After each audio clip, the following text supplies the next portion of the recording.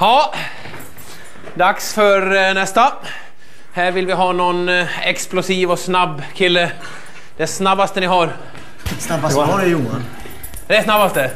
Ja, idag i alla fall. Idag i alla fall. Då kör vi! Kom igen! Johan.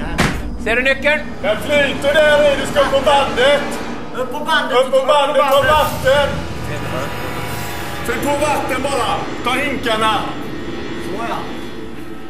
Andra hållet. Vänd på dig och spring åt andra hållet! Backa kan inte. Ja, lugnt Bra, och fint! Häll i lugnt och fint! Du får inte skvätta ut, du får inte skvätta ut vatten! Prata in gården. Skvätt inte ut vatten, häll lugnt och fint! Hur är det med fotometern? Ja. Mycket snyggt! Han ska inte vända sig. Vända inte! Åk bak bara, men... Åk med bandet bak, Ja. vända inte nästa gång! Precis.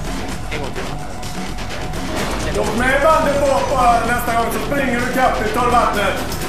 Vända inte om! Åk med bandet bakåt! Bra Johan!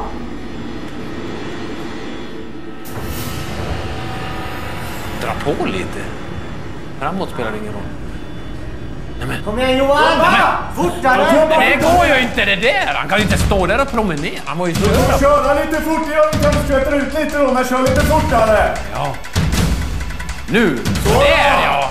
Han kan Nu riktar den åt, du klarar det! Ja! En till, en till! Du har bra med tid! Ja! Underbart! Han tog den på gungen! Såg du det?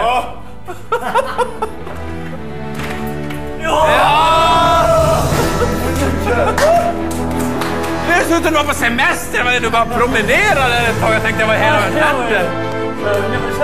Men du, spe, du spillde ingenting? Du spillde ingenting? Lite grann kom det, men det får vi räkna med. Kom igen nu! Två nycklar! Ja, alltså det var ingen tvekan om att jag skulle ta sedlen i och med att eh, de andra gubbarna har ju lagt av för ett tag sedan och jag har ju spelat på fram tills eh, april i år.